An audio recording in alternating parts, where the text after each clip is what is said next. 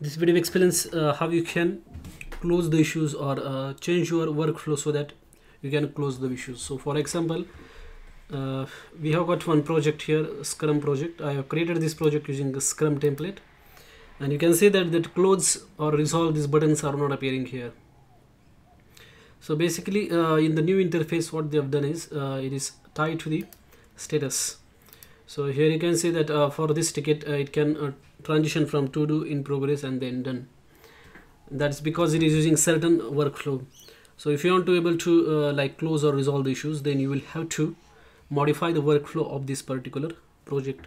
So to modify the uh, workflows uh, what you have to do is uh, go to the project settings of that project.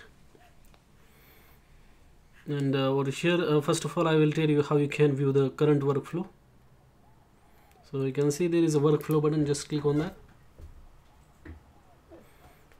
And you can see that uh, this project is being uh, is using this workflow called as software simplified workflow scheme. Software simplified workflow scheme. So they have introduced this workflow in new version of jira. But uh, if you want to get another uh, workflow what you have to do is you can uh, click on add workflow here and click on add existing. And you can see that on the left hand side there are lots of workflows over there. So if you choose this uh, classic default workflow what will happen is that you can uh, choose between these statuses open closed resolved reopened in progress. And similarly you can uh, look at other workflows. If that suits your needs then you can add uh, that type of workflow. So here you can see that builds workflow is uh, generally used when uh, people have integrated their project with the uh, github or any other repository. And uh, we have got project management workflow as well. So let us change this uh, projects workflow to classic default workflow. And then let us see uh, if we can uh, we can also assign these issue types to classic workflow. And uh, uh, you can have different workflows for different uh, issue types as well so that is also possible. But right now uh, I'm just gonna assign all the issue types to this classic uh, default workflow and then click on finish. Then uh, you have to click on publish.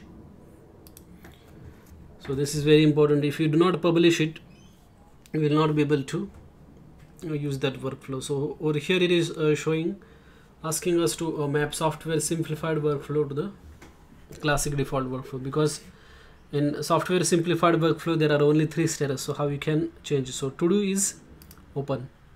So we are going to uh, keep it like that. Done means we can either uh, keep it closed or resolved so i'm going to uh, select closed. Then uh, again here to do open done closed.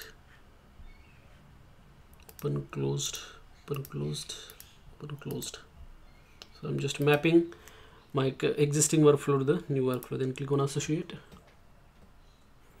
And then uh, it will transition all the existing tickets. So generally this is done by your project manager at the uh, beginning of the project one or when they are setting up the jira.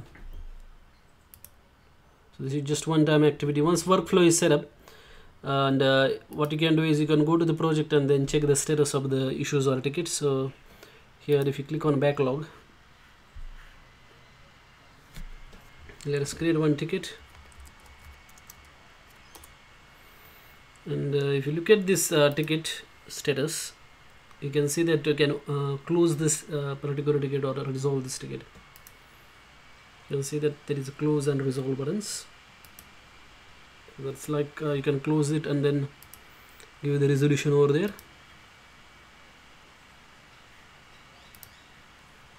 or you can uh, resolve this issue. So difference between close and resolve is that uh, it's not uh, much difference. It is just uh, like concept wise uh, context wise uh, there is a difference. Like in close means that there is nothing to like extra work is to be done on the ticket.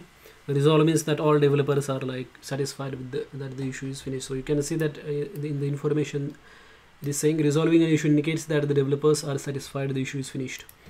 And then you can give the resolution and then click on resolve. So that is how you can uh, like uh, work with workflows. You can also create your custom workflow as well which I will cover in next video. Thanks for watching this video